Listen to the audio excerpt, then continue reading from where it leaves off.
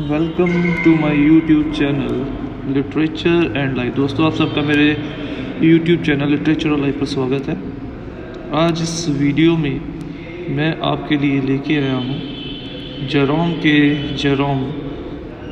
के द्वारा लिखी गई एक बहुत ही humorous and satirical short story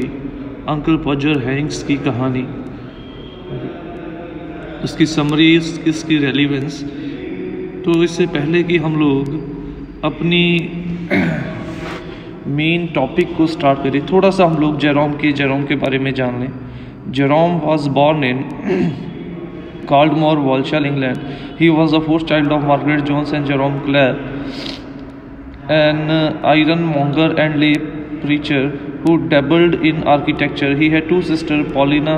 and Blandina, and one brother, Milton, who died at an early age.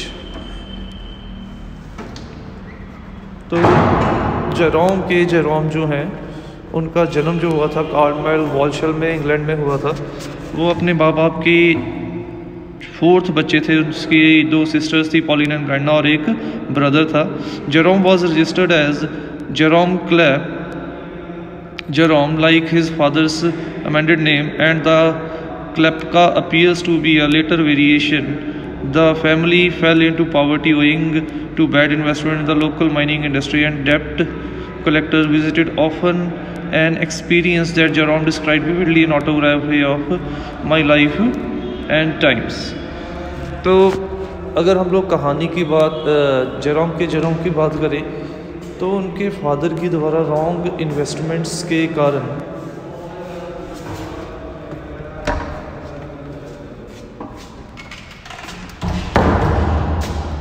उनके फादर के द्वारा रॉन्ग इन्वेस्टमेंट्स के कारण उनकी फैमिली जो थी वो पावर्टी का, गरीबी का शिकार हो चुकी थी। तो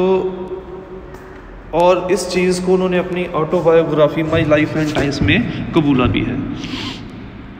The young Jerome attended saint Marylebone grammar school he wished to go in to politics or be a man of letter but death of his father when Jerome was thirteen and his mother when he was 15 forced him to quit his studies and find work support for himself. Basically वो एक politics में जाना चाहते थे but उनके untimely उनके both parents की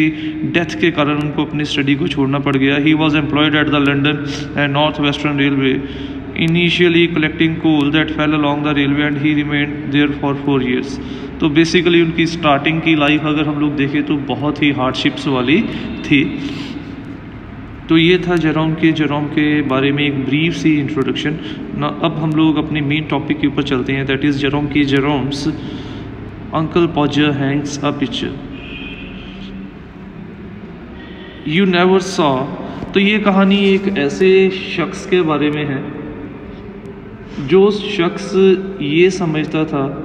कि उसके जैसा इंटेलिजेंट समझदार इंसान दुनिया में कोई है ही नहीं। और रियलिटी क्या थी? रियलिटी ये थी he was good for nothing वो एक ऐसा शख्स था जो शो बहुत कुछ करता था बट उसके पास था कुछ नहीं। यानी कि वो एक ऐसा करेक्टर था, वो शो तो करता था कि उसके पास बहुत सारी नॉलेज है बट इन रियलिटी उसके पास कुछ भी नहीं था और वो किसी काम के काबिल नहीं था। और इस कहानी में भी वो एक सिंपल सा टास्क करना अंडरटेक करता है। और वो टास्क क्या है? वो टास्क है दीवार के ऊपर एक तस्वीर को लटकाना या टांगना। कितना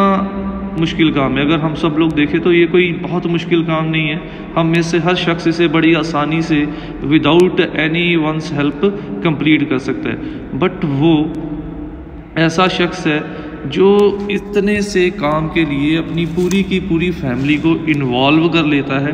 और पूरी की पूरी फैमिली को इन्वॉल्व करने के बावजूद भी वो अपने इस काम को पूरे तरीके से कंप्लीट कर ही नहीं पाता। उसका ये काम कंप्लीट हो ही नहीं पाता और एंड में वो अपनी हर गलती का, जो दोष है, वो अपनी फैमिली के ऊपर ही ठहरा देता है। और ऐसे शख्स हम लोगों के आसपास, हमारे घरों में कोई ना कोई ऐसा शख्स होता है, जो जब काम करने लगता है, सारे घर को भगदड़ में मचा भगदड़, सारे घर में भगदड़ मचा देता है, सारे घर की उथल पुथल कर देता है और काम फिर भी वो ढंग से प्रॉपरली परफेक्टली नहीं कर पाता। You never saw such a commotion up and down a house in all your life as when my uncle Podger undertook to do a job तो राइटर कह रहा है कि आप लोगों ने कभी भी किसी घर में इतनी हलचल नहीं देखी होगी जो अंकल पॉजर के घर में, उसके अंकल पॉजर के घर में देखने को मिलती थी, जब भी वो घर में कोई काम करना शुरू करता था। A picture would have come from the frame makers and be standing in the dining room waiting to be put up and aunt Podger would ask what was to be done with it and uncle Podger would say तो एक तस्वीर बनाने वाले के पास से एक picture आई हुई है इनके घर में और वो डाइनिंग हॉल में एज इट इज़ पड़ी हुई है और aunt Maria, aunt Podger sorry जो अंकल पॉजर की वाइफ है, वो अपने हस्बैंड से पूछती है कि इस तस्वीर का हम लोगों ने क्या करना है। तो कहानी की शुरुआत में उसके करेक्टर की हमें एक डीप सी इंट्रोडक्शन दे दी है कि वो एक ऐसा करेक्टर है जो किसी काम के काबिल नहीं है। और कहानी की स्टार्टिंग में ही हम लोगों को इंसिडेंट बता दिया गया है कि एक तस्वीर जो है, वो अंकल पॉजर के घर पे आई है। और आंट मारिया आंट पॉजर जो है अंकल पॉजर से पूछ रही है, उस तस्वीर का क्या करना है? ओ you leave that to me uncle Podger आगे रिप्लाई क्या कर रहा है? Don't you any of you worry yourself about that I will do all that तो अंकल पॉजर बड़ा सिंपल सा रिप्लाई करता है, आप लोग उस तस्वीर की कोई चिंता मत करो, वो काम मेरे ऊपर छोड़ दो, मैं अपने आप उस तस्वीर का जो भी करना है, जहाँ पे भी उसको हैंग करना है, मैं अपने आप कर लूँगा। तो बेसिकली उसने क्या शो कर रहा है, उस अंकल पॉजर का करेक्टर अंकल पॉजर का करेक्टर ये शो कर रहा है कि उसके जितना, अंकल पॉजर का करेक्टर ये शो कर रहा है कि वो ये सोचता है कि वो कोई भी काम बिना किसी हेल्प के कर सकता है। और रियलिटी क्या है? रियलिटी ये है कि वो किसी भी काम को घर में भगदड़ उथल पुथल किए बिना कंप्लीट कर ही नहीं सकता। और वो अगर कंप्लीट करता भी है तो वो उसे परफेक्टली नहीं कर पाता। And then he would take off his coat and begin he would send the girl for six of pen orth of nails and then one of the boys after her to tell what size to get and from that he would gradually work down and start and the whole house तो वो क्या करता है? अपना coat उतारता है और काम की तरफ़ बढ़ना शुरू कर देता है और फिर पहले उसने क्या किया था? मुझे किसी की ज़रूरत नहीं है। फिर वो अपनी एक बेटी को मार्केट भेजता है और उसे कहता है कि वो नील लेके आए, कील लेके आए, क्योंकि कील के सहारे तो तस्वीर को हैंग करना है। यानी कि जहाँ पे वो कह रहा था किसी को इन्वॉल्व नहीं करना, पहला पर्सन उसने इन्वॉल्व कर लिया। और जब वो उसे मार्केट भेज देता है, अब यहीं से अंकल पॉजर के करेक्टर के बारे में अंदाज़ा लगाया जा सकता है। जब वो लड़की को भेज देता उसे याद आता है कि लड़की को साइज़ तो बताया नहीं कि कितने साइज़ का नील उसे चाहिए। फिर वो अपने बेटे को उसके पीछे भेज देता है कि वो जाके उसे नेल का साइज़ बताए, जिस साइज़ का नेल उसे मार्केट से लेके आना है। तो इस प्रकार से जहाँ पे उसने कहा था, किसी को भी वो काम में इन्वॉल्व नहीं करेगा धीरे धीरे करके वो अब पूरी फैमिली को इन्वॉल्व करना शुरू कर चुका है। Now you go and get me my hammer will He would shout and you bring me the rule tom and I shall want step ladder I had better have a kitchen chair too and Jim you run around to Mr. Goggles, uh, Goggles and tell him pass kind regard and hopes his legs are better and will be lend him his spirit तो फिर वो कहता है अपने दूसरे बेटे को कि वो उसे जाए और उसका हैमर प्रोवाइड करे और उसके साथ साथ उसका रूल भी प्रोवाइड करे जिससे उसने मेज़रमेंट करनी है, कहाँ पे नेल लगाना है। उसके बाद वो कहता है, उसे एक सीढ़ी भी चाहिए, उसके साथ साथ एक चेयर भी चाहिए। और वो अपने बेटे को कहता है, वो उनके पड़ोसी मिस्टर गॉगल्स के पास जॉजल्स के पास जाए और उसको अपनी रिगार्ड्स भी भेज रहा है, उसके साथ साथ वो कहता है कि वो मिस्टर गॉगल से पास से स्पिरिट लेवल जो लेवल देखने के लिए हम लोग यूज़ करते हैं, वो भी उससे कुछ समय के लिए, जब तक कि उस, ये तस्वीर उन्होंने हैंग करनी है, तब तक के लिए वो लेके आए। तो हम लोग देख सकते हैं। स्टार्टिंग में उसने कह दिया था कि उसे किसी की भी मदद की ज़रूरत नहीं है तस्वीर को हैंग करने के लिए। और यहाँ पे वो, अब क्या हो रहा है? यहाँ पे ये हो रहा है कि वो धीरे धीरे करके पहले उसने लड़की को भेजा, उसके पीछे एक लड़के को भेजा जो उसको साइज़ ऑफ़ नेल्स बताने गया फिर वो टॉम को कहता है कि उसको स्टेप लेडर हैमर और चेयर ला के दे। और फिर वो जिम को कहता है कि वो उनके पड़ोसी के पास से स्पिरिट लेवल के दे। यानी कि धीरे धीरे करके उसने पूरे घर को अपने साथ इन्वॉल्व कर लिया है। और क्या पूरे घर को इन्वॉल्व करने के बाद भी वो अपने काम में कामयाब होता है या नहीं होता है, वो हम लोग आगे की कहानी में देखते हैं। And don't you go Martha because I shall want somebody to hold me the light and when the girl comes back she must go out again for a bit of picture cord and tom you come here i shall want you to hand me up the picture और फिर वो अपने घर में जो काम करने आती है उसे भी उसमें इन्वॉल्व कर देता है वो कहती है कि तुम मेरी तरफ़ लाइट मारो जिससे कि मैं एग्जैक्ट लोकेशन को एग्जैक्ट पॉइंट को मार्क कर सकूँ जहाँ पे मैंने ने, नील को लगाना है। और उसके साथ साथ जब लड़की नील लेके आती है फिर उसे याद आता है कि जिस रस्सी से जिस धागे से उसने तस्वीर को हैंग करना है वो तो मंगवाया ही नहीं। और फिर से टॉम को कहता है कि वो चाहता है कि टॉम उसे उस तस्वीर को पकड़ाए। तो हम लोग देख सकते हैं, अगर ये चीज़ हमारे सामने पिक्चराइज की जाए तो वो सेंटर में खड़ा है और उसके आसपास सारे लोग एक सेमी सर्कल में खड़े हैं अपना काम करते हुए, जिनको उन्होंने रोक दिया है और उसको वो अलग अलग सामान सप्लाई कर रहे हैं। जहाँ पे वो कह रहा था किसी को उसकी किसी की हेल्प की उसे ज़रूरत नहीं है, उसने धीरे धीरे करके पूरे घर को अपने साथ इन्वॉल्व कर लिया है। और जब उस, यहाँ तक कि एक बार जब लड़की मार्केट गई है, उसे तब ये उसके करेक्टर का एक और, हम लोग वीकनेस कह सकते हैं कि उसकी मेमोरी भी शायद वीक है। बातें वो बड़ी बड़ी कर रहा था बट पहले उसको नील लेने भेज दिया साइज़ नहीं बताया। अब मार्केट पहले गई थी तो उसको ये भी नहीं बताया कि उसको तस्वीर टांगने के लिए हैंग करने के लिए एक कॉर्ड भी चाहिए, एक रस्सी भी चाहिए। And then he would lift off the picture and drop it and it would come out of the frame and he would try to save the glass and cut himself and then he would spring round the room looking for his handkerchief और फिर जैसे ही वो पहली attempt करता है तस्वीर को hang करने की, तस्वीर उसके हाथ से छूट जाती है, और उसका फ्रेम जो है वो टूट जाता है और वो कोशिश करता है तस्वीर को बचाने की, तस्वीर के शीशे को बचाने की वो टूट ना जाए और इस प्रोसेस में वो अपने अंगूठे को, वो अपने अपने हाथ को ज़ख्मी कर लेता है और फिर वो अपने रुमाल को ढूंढना शुरू कर देता है जिससे कि वो बाँध के खून को बहना, खून का बहना बंद कर सके। तो पहली अटैम्प्ट में ही हमें पता लग गया कि वो गुड फॉर नथिंग करेक्टर है, क्योंकि तस्वीर को हैंग करना कितना आसान काम है और वो इतने लोगों की हेल्प के बावजूद भी पहली अटैम्प्ट में लगभग तस्वीर को ख़त्म डिस्ट्रॉय कर देता है। He could not find his handkerchief because it was in the pocket of the coat he had taken off and he did not know where he had put the coat and all the house had to leave off looking for his tools and started looking for his coat well he would dance around and hinder them फिर वो अपने रुमाल के लिए ढूंढना शुरू कर देता है, पूरे घर में उथल पुथल मचाता है, कहता है कि सब लोग उसे ढूंढो। All the house and had to leave off looking for his tools and started looking for his coat और सब लोग उसके कोट को ढूंढना शुरू कर देते हैं, कहाँ पे उसने कोट रखा है और वो दर्द से ऐसे इधर उधर भाग रहा था जैसा लग रहा था कि वो कोई डांस कर रहा है। तो इस प्रकार से हम लोग देख सकते हैं कि वो बिल्कुल ही बिल्कुल ही गुड फॉर नथिंग करेक्टर है। उसे बस इतना याद है कि उसने जो हैंकी है,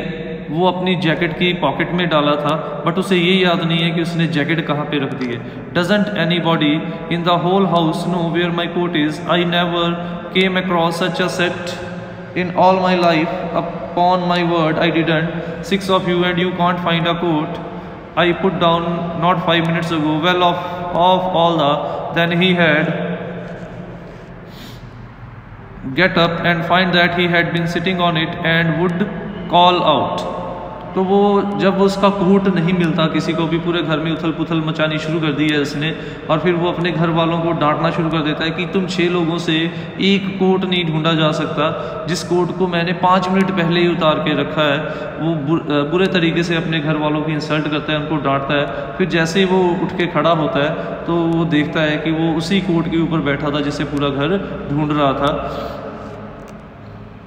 Oh, you, uh, you can give it up. I have found myself. I might just as well ask the cat to find anything as expect you people to find it. और जब वो उठता है अब गलती उसी की थी क्योंकि वो तो उस कोट के ऊपर बैठा था बाकियों को कहाँ से वो कोट नज़र आ जाना था बट फिर से अपनी गलती को छुपाते हुए वो दोष दूसरों के ऊपर ही डाल देता है वो कहता है कि आप सब लोग ढूंढना बंद कर सकते हो मैंने खुद अपना ओवर कोट ढूंढ लिया है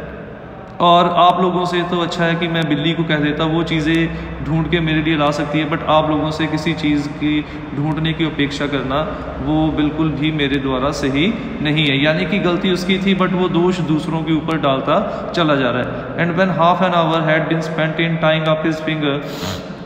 and a new glass has been got and the tools and the ladder and the chair and the candle has been brought he would have have another go the whole family including the girl and the car woman standing round in a semicircle ready to help और फिर लगभग आधे घंटे के बाद जब उसकी उंगली को अच्छे तरीके से बैंडेज कर दिया गया फिर से सारा सामान इकट्ठा कर लिया गया लेडर चेयर कैंडल और और जो सामान था, यहाँ तक कि उसने घर में काम करने वाली औरत को भी अपने आसपास खड़ा कर दिया था और सारी की सारी फैमिली वो सेंटर में एक लेटर और चेयर के ऊपर खड़ा था। हाथ में उसकी तस्वीर थी और बाकी के सारे लोग उस सेमी सर्कल में उसके आसपास खड़े थे उसकी हेल्प करने के लिए। Two people would have to hold him there. उसने कहा, दो लोग उसको पकड़ के रखेंगे and a fourth would had him nail. एक उसको nail पकड़ाएगा and fifth would pass him of the hammer. एक उसको hammer पकड़ाएगा and he would take hold of the nail and drop it. और फिर जब ये सारा कुछ हो जाता है तो जैसे ही वो नेल को पकड़ता है, वो नेल को छोड़ देता है और फिर सारी की सारी family hold of nail and drop it there he would say in injured tone now the nail's gone और फिर सारी की सारी फैमिली फिर से गलती उसकी थी, उसके हाथ से वो नील छूटा था और फिर से वो सारी फैमिली को डांटना, सब सारी फैमिली के ऊपर दोष मरना शुरू कर देता है कि ये आप लोगों की गलती है कि पहले आप लोग मेरा ओवरकोट नहीं ढूंढ पाए, जो कि उसके जिस, जो जो खुद उसके ऊपर बैठा हुआ था ओवरकोट के ऊपर और फिर अब नेल भी उसी से गिरा है, वो फिर से कहता है कि अब आप लोग अच्छे ढंग से नील नहीं पकड़ा सकते और अब नील को ढूंढ नहीं सकते। And we would all have to go down our knees and grovel for it while he would stand on the chair and grunt and want to know if he was able to kept to be kept there all the evening फिर वो अपने घुटनों के बल बैठ जाता है सारी की सारी फैमिली घुटनों के बल बैठ जाती है नेल को वो ढूंढना शुरू कर देती है और काफ़ी टाइम वो नेल को ढूंढते रहते हैं। The nail would be found at last but by that time he would have lost the hammer अंत में जब नेल मिल जाता है तो उसे ये याद भूल जाता है कि उसने हैमर कहाँ पे रखा है। फिर से गलती उसी की है हैमर उसने रखा है और फिर से अब फैमिली के ऊपर दोष मरना शुरू कर देता है। Where the hammer what did I do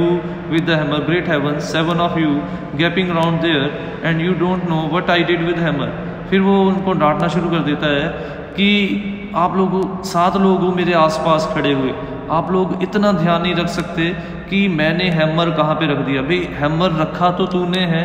तो दूसरों को कैसे कह सकता है कि आप लोग ध्यान नहीं क्योंकि उनको तो अंकल पौजा ने पहले ही नील को ढूँढने में लगाया था और हैमर इसने रख दिया।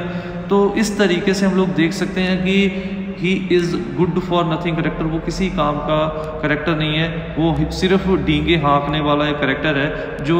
शो ये करता है कि वो सब कुछ बिना किसी हेल्प के बड़ी आसानी से कर सकता है. बट इन रियलिटी जब वो कोई काम करना शुरू करता है तो वो अपने आप को एक सिंपल सा टास्क करने में भी असमर्थ महसूस करता है. और वो हर अपनी नाकामयाबी का जो दोष है, वो वो अपनी हर नाकामयाबी का जो जो दोष है, वो अपनी फैमिली मेंबर्स के ऊपर डालता चला जाता है। We would find the hammer for him and then he would have lost the sight of the mark he made on the wall where the nail was to go in nail was to go in and each of us had to get up on the chair beside him and see if he could find and we would each discover it in a different place and he would call us fool one after another and tell us to get down फिर जब hammer उसको ढूंढ के दिया जाता है, उसे ये याद भूल जाता है कि उसने कहाँ पर मार्ग लगाया था नील को लगाने के लिए और फिर हमने से हर कोई शख्स उसको नील का मार्ग ढूँढने की कोशिश करता है जब और चेयर के ऊपर चढ़ के उसको बताने की कोशिश करते हैं और हम लोग सब के सब अलग पॉइंट को पॉइंट आउट करते हैं, कोई यहाँ पे कहता है, कोई यहाँ पे कहता है, और जब वो ऐसा होता हुआ देखता है फिर से, क्योंकि मार किसने लगाया था जब इसे याद नहीं है तो बाकी तो नीचे खड़े थे, उनको कहाँ से पता होगा? फिर से वो अपने घर वालों के ऊपर दोष मरना शुरू कर देता है, उनकी इंसल्ट करना शुरू कर देता है, कि आप वो सब लोग मूर्ख हैं, जो कि इतना ध्यान नहीं रख सकते कि अंकल पॉजर ने कहाँ पे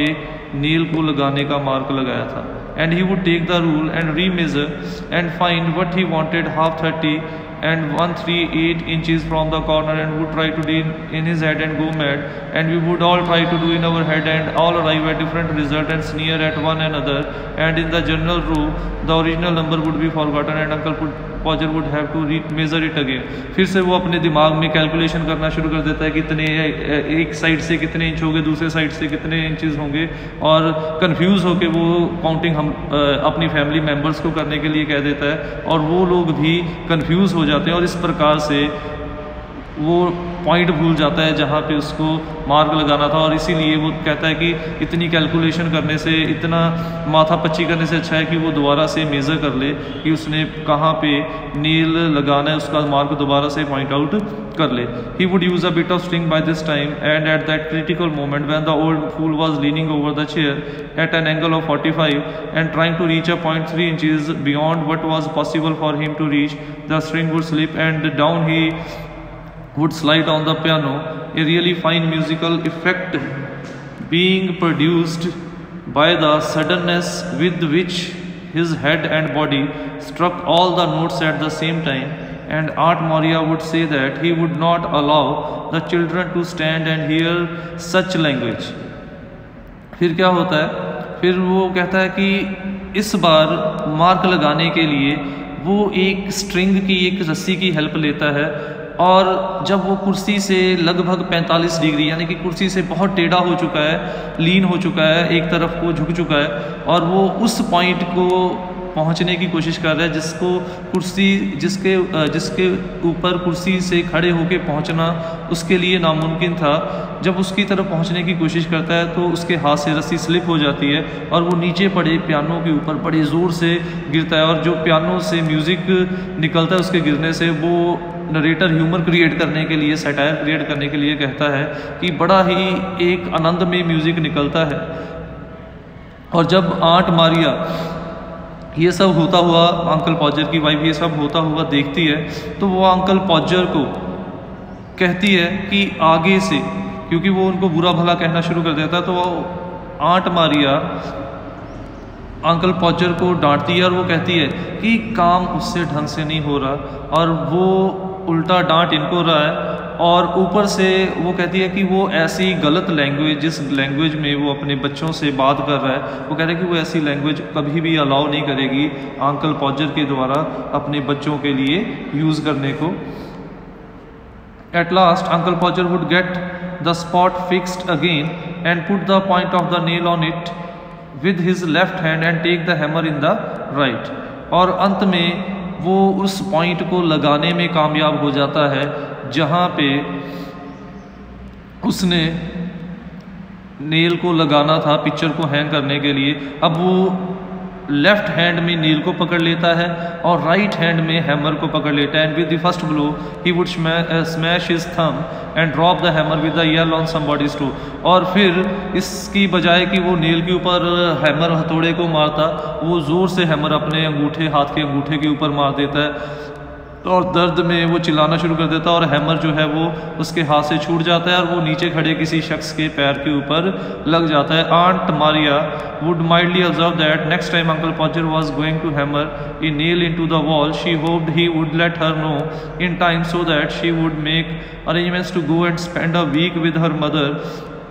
while it was being done aunt Maria फिर अंकल पॉजर की इस काम से तंग आ जाती है और वो कहती है कि आगे से जब भी वो ऐसा कोई काम करने के बारे में ठाने, वो उसे बता दे ताकि वो पहले ही अपने बच्चों के साथ अपने पेरेंट्स के घर चली जाए ताकि उसके बच्चों को ये सारी बॉदरेशन ये सारी कमोशन ये सारी हलचल का शिकार होना ना पड़े। तो इस प्रकार से हम लोग देख सकते हैं कि उसने पूरे घर में उथल पुथल भगदड़, हलचल मचा रखी है और अब तक उसकी दो तीन अटैम्प्ट में अब तक वो एक बार भी किसी काम को भी, चाहे वो पहले अटैम्प्ट में पिक्चर को लगाना था, फिर चाहे वो मार्क करना था, चाहे वो हैमर से नील को दीवार के अंदर लगाना था, वो किसी भी काम को परफेक्टली कर पाने में असमर्थ होता है इतने लोगों की मदद करने के बावजूद भी। तो ये शो करता है कि अंकल पॉजर बिल्कुल वैसा करेक्टर है जो शो ऑफ़ करता है बट उसके पल्ले कुछ नहीं है, उसके पास कुछ नहीं है, वो केवल बातों करने में शेर है, काम करने में वो किसी काम का नहीं है। ओ you women you make such a fuss over everything uncle Podger would reply picking up himself why I why I like doing a little job of this sort और फिर से वो अपनी वाइफ को भरा बुला कहना शुरू कर देता है कि आप औरतों को तो आदत है कि छोटी सी बात का बतंगड़ बनाना। और क्यों? मैं इस तरीके के काम छोटे मोटे काम मैं अपने लिए कर देता हूँ। ये काम तो मैं, मुझे आप लोगों के ऊपर छोड़ देने चाहिए। And then he would have another try and the second blow the nail would go clean through the plaster and half the hammer after it and uncle Podger be precipitated against the wall with force nearly sufficient to flatten his nose और फिर वो जब अगली try करता है, वो इतने ज़ोर से नील को ऊपर हथौड़ा मार देता है कि वो दीवार के ऊपर जो रंग लगा था वो भी निकल आता है और वो लगभग पूरा का पूरा नील जो है वो दीवार के अंदर चला जाता है और उसका बिल्कुल उसकी पोजीशन ऐसी हो जाती है जैसे हम लोग कई बार बिल्कुल दीवार के साथ लग जाए हमारा नोज़ फ्लैट हो जाता है। तो वो भी एकदम झटके से उसकी जो पोजीशन ऐसी हो चुकी थी क्योंकि एक झटके से नील अंदर चला गया और वो पूरा का पूरा दीवार के साथ चिपक चुका था। Then he, we had to find the rule and the string again and new hole was made and about midnight the picture would be up very crooked and insecure, the wall for yards around looking as if it smoothed down with a rake and everybody dead beat and wretched except Uncle Podger. और फिर से जब वो देखता है ये तो point ख़राब हो गया फिर से वो स्ट्रिंग उसे पकड़ाई जाती है फिर से मार्ग लगाया जाता है और लगभग पूरे दिन के इस हलचल इस कमोशन इस भगदड़ के बाद वो आधी रात के करीब जाके उस तस्वीर को हैंग करने में कामयाब हो जाता है। बट कामयाब कैस परफेक्टली नहीं होता। तस्वीर तो हैंग कर दी बट वो इस तरीके से, तस्वीर सीधी नहीं, वो लगभग टेढ़ी तंगी हुई थी और ऐसा लग रहा था वो तस्वीर कभी भी वहाँ से नीचे गिर के टूट सकती है। और जहाँ पे उसने जिस दीवार पे वो तस्वीर को हैंग करना चाह रहा था, दोनों साइड्स के ऊपर दोनों साइड्स के ऊपर ऐसा लग रहा था कि कई यार्ड्स तक, कई दोनों साइड्स के पास काफ़ी दूरी तक वो दीवार ऐसा लग रहा था कि दीवार को रीग मार्क के साथ, दीवार को सैंड पेपर के साथ रब कर दिया गया है और दीवार बिल्कुल खुदरी हो चुकी थी बार बार की कोशिशों के कारण और लगभग उसके साथ जितने भी लोग खड़े थे वो पूरे तरीके से थक चुके थे एक्सेप्ट सिर्फ़ अं-, एक अंकल पॉजर ही नहीं थके थे। There you are he would say stepping heavily off the chair on to the charwoman's corns and surveying the mess he had made up with the evident pride why some people would have had a man in to do a little thing like that और फिर वो chair से उतरता है और फिर से उतरते वक्त फिर से वो जो पैर है वो अपने कार के काम साफ़ सफ़ाई कर, कर्मचारी ने जो सामान रखा था उसके ऊपर रख देता है और फिर आसपास देखता है कि उसने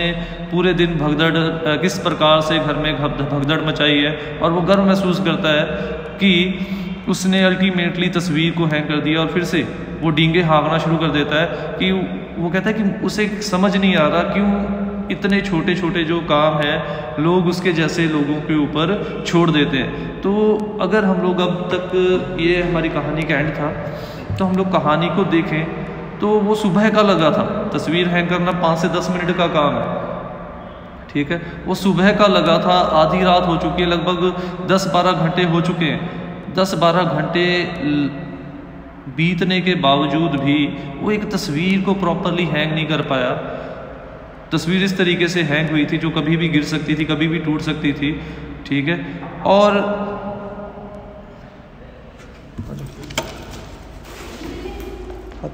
आ जाओ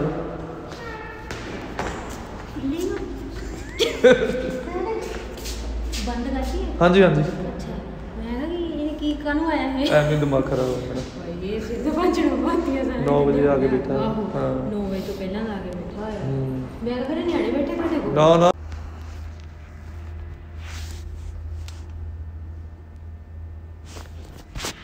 हम लोग देख सकते हैं कि अंकल पॉचर जो है, वो गुड फॉर नथिंग करेक्टर है। इतनी कमोशन फैलाने के बावजूद भी वो एक छोटे से काम को वो ढंग से कंप्लीट नहीं कर पाया। और जब वो आसपास भगदड़ मची देखता है, जो उसी के कारण मची हुई है, उसके ऊपर भी वो गर्व महसूस करता है कि उसके कारण ही ये सब कुछ हुआ है। और इसके बावजूद भी कि जब उसको पता चल गया जब उसको पता चलता है कि जो भी उसने किया है, वो ढंग से नहीं कर पाया, उसका दोष भी, उसका दोष भी वो अपनी फैमिली के ऊपर डाल देता है। और वो खुद गुड फॉर नथिंग करेक्टर है। उसके बावजूद अब भी इतने प्रूफ मिलने के बावजूद भी, अब भी वो ये सोचता है कि उसके जैसा परफेक्ट काम करने वाला कोई शख्स मौजूद नहीं है और वो अपनी पूरी फैमिली को इसका दोषी ठहराना शुरू कर देता है कि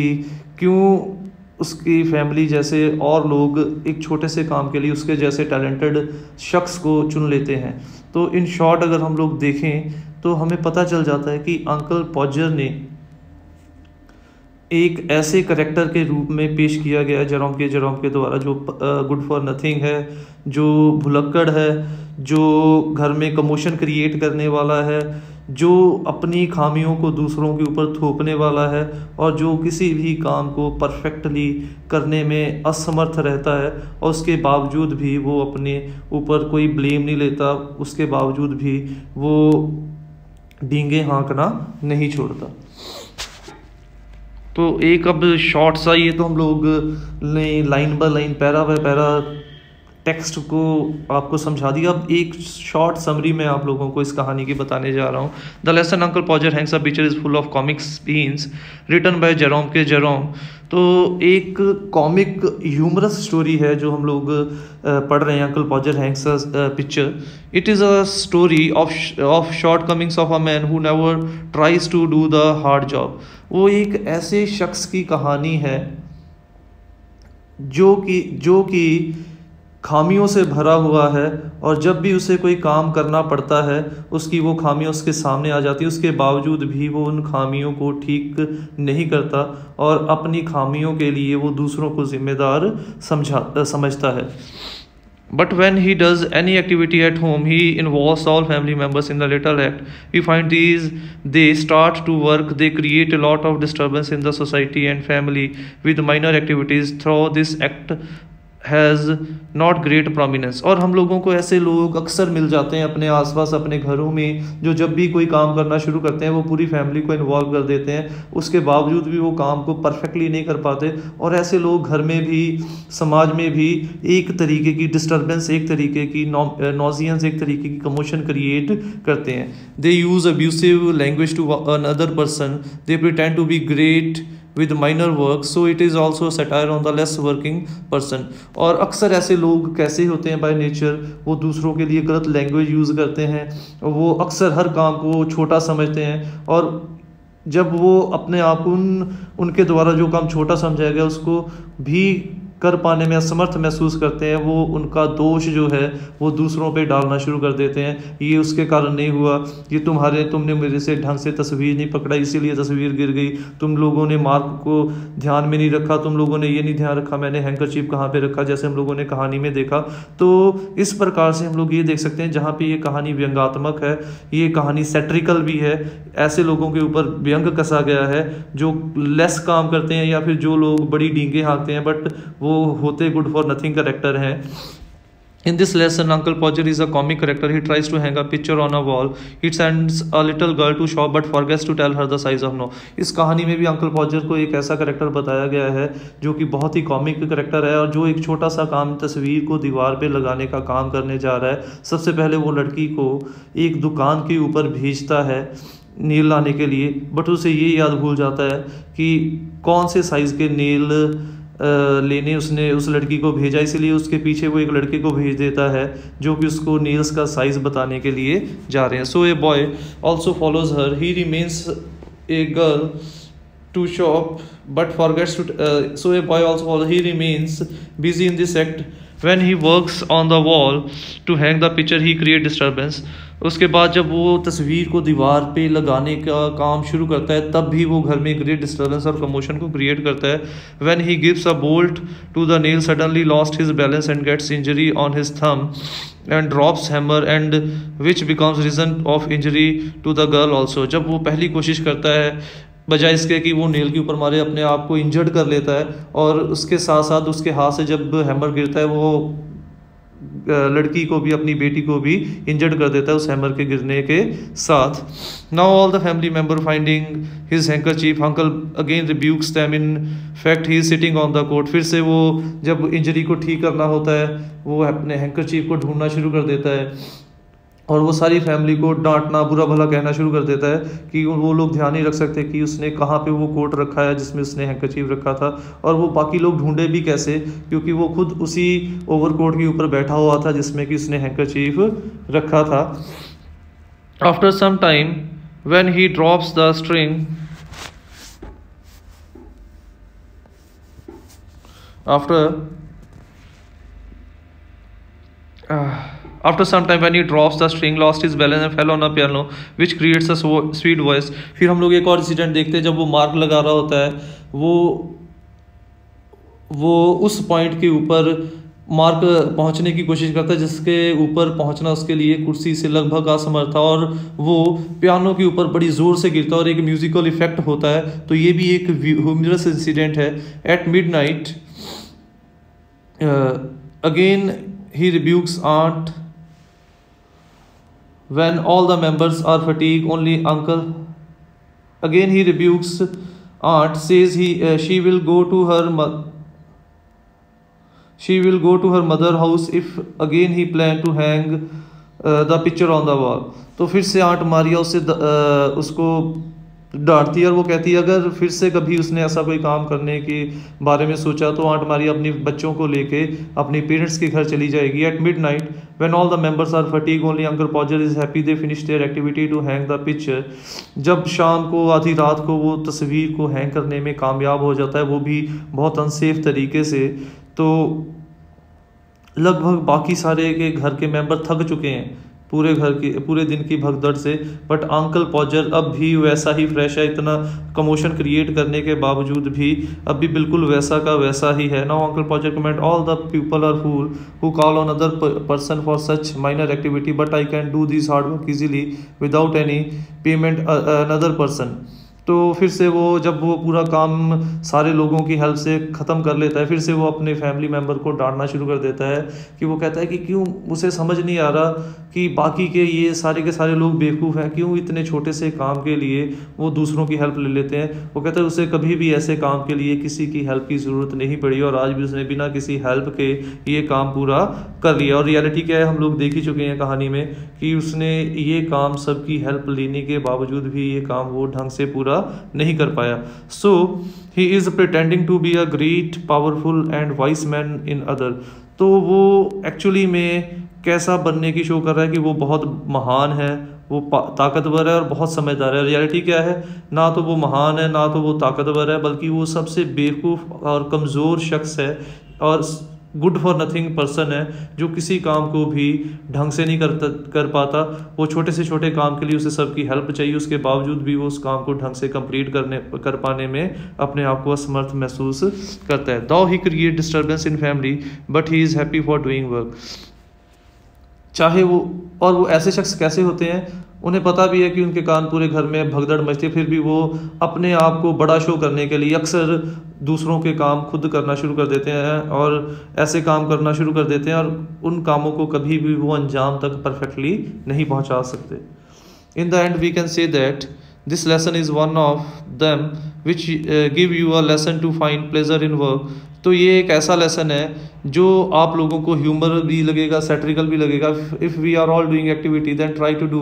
in your own behalf but when you involve another person become the cause of disturbance to them so it is a comedy mixture with style तो वहाँ पे राइटर एक मैसेज भी दे रहा है कि जब तक, जब भी हम लोग कोई काम करना शुरू करें, कोशिश ये करें हम लोग उस काम को अपने बलबूते पर ही कंप्लीट करें। क्योंकि जब हम लोग दूसरे लोगों को उस काम में इन्वॉल्व करेंगे तो उससे हम लोग दूसरों को भी डिस्टर्ब करेंगे। तो इस प्रकार से ये कहान लेसन जो है, एक कॉमेडी भी है और सेटायर भी है। ये व्यंगात्मक भी है, ये हास्य के इंसिडेंट से भरी हुई भी है और वहाँ पे सेट्रिकल भी है और वहाँ पे राइटर चाहता भी है कि ऐसे लोग अपनी इन कमियों को इम्प्रूव करें। In the end, to conclude, we can say that Uncle Podger creates a lot of commotion while hanging the picture on the wall, but still he was not able to hang the picture properly. अंत में हम लोग देख सकते हैं कि uncle पॉजर एक छोटे से काम के लिए पूरे घर में बहुत भगदड़ बहुत हलचल मचाता है बट उसके बावजूद भी वो उस काम को ढंग से कंप्लीट नहीं कर पाता अब भी तस्वीर बिल्कुल ऐसे टंगी हुई थी ऐसा लग रहा था कि तस्वीर किसी भी वक्त दीवार से नीचे गिर सकती है but still he was not able because of the way the picture is hanging on the wall it appears as if it can fall down any time तो इन शॉर्ट ये कहना भी गलत नहीं होगा कि इस कहानी के ज़रिए राइटर ने अंकल पॉजर के करेक्टर के ज़रिए ऐसे लोगों के ऊपर व्यंग कसा है जो बड़ी बड़ी डींगे हाँकते हैं बट इन रियलिटी में they are good for nothing जो ये शो करते हैं कि वो बहुत पावरफुल और बहुत वाइज है रियलिटी में वो बहुत ही weak and foolish type of people होते हैं, बिल्कुल अंकल पॉजर के जैसे, जो अक्सर अपनी कामियों को दूसरों के ऊपर थोपते हैं, जो अक्सर अपनी गलतियों को दूसरों के ऊपर थोपते हैं, जो छोटे से छोटा काम भी परफेक्टली कर पाने में असमर्थ महसूस करते हैं और हम सब लोगों के इर्द गिर्द ऐसे बहुत से लोग हमें देखने को मिल जाएँगे। तो ये थी हमारी आज की वीडियो। उम्मीद करता हूँ आपको वीडियो अच्छी लगी होगी। अगर वीडियो अच्छी लगी हो तो वीडियो को लाइक और कमेंट ज़रूर कीजिएगा। आपकी वैल्यूबल सजेशंस का मुझे इंतज़ार रहेगा। Thanks for watching the video don't forget to subscribe my channel click on the bell icon to get the latest updates.